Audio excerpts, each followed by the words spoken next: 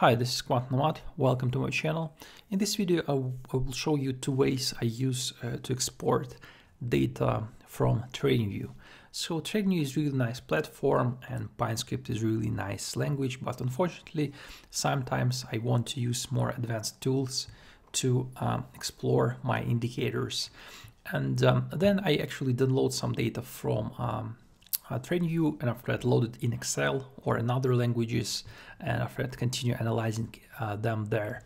So uh, first, um, uh, first way is actually built-in uh, tool in uh, TradingView. So basically you can download everything you see on your screen. So uh, for example, here I have Bitcoin USD pair one hour chart. I loaded quite a lot of bars. Um, so I don't know, probably it's like um, probably a month of hourly data. So and I have few indicators here as well. So let's try to download it. So to download it, what all you need to do is just to press this main menu and after that press export chart data. Here you have to select uh, from which chart you want to uh, download your data. So I have only one chart open, so there is no selection for me. And also you need to select time format. So you can select from Unix time stamp and uh, time. So I will use ISO time for just better readability. So now just press export and just in a second you'll see that file was downloaded. So let's open it and see how it actually looks. So let me bring Excel here. So as you can see, it looks pretty nice. So basically you have like a table and uh, you have this time column uh, that represents uh, open time of every bar and um, for every bar we have open, high, low, close, and after that values for uh, my indicators, so pivot low, pivot high, and pivot, pivot low, pivot, pivot high. So and that's it. And actually we have quite a lot of uh, points, so I think probably like around a thousand of uh, data points. So it's actually quite nice. After that I can use it here in Excel to kind of do some more advanced statistics on it or something like that.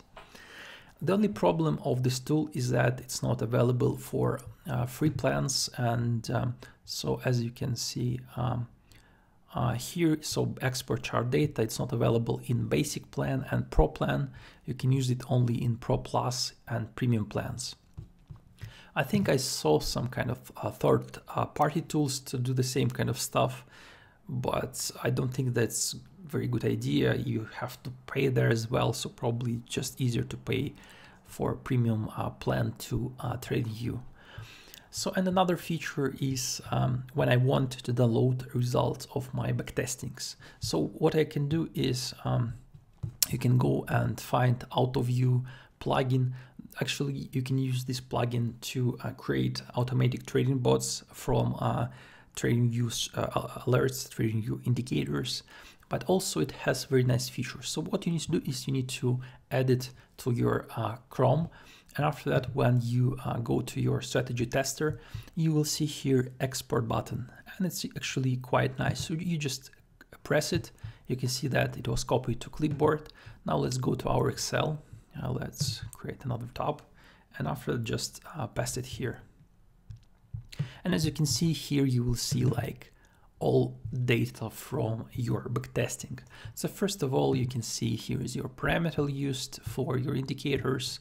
So here's some uh, other parameters. Here's some basic um, statistic of your performance. Uh, here's your like uh, other statistics like net profit, a bit more details. And here is list of trades. So it's actually, it's quite nice. You can just easily get all the data and basically, I think what this tool does is simply kind of parse all numeric values from what you see here and copy it to Excel. So it's quite easy to do that. It's quite, I think it's quite nice. And also you can continue to, to, to analyze your performance here and I don't know, create like portfolios from a few indicators, a few, few strategies and stuff like that. So it's, it can be quite useful for you. So I think that's all for this video. Thank you for watching. Bye.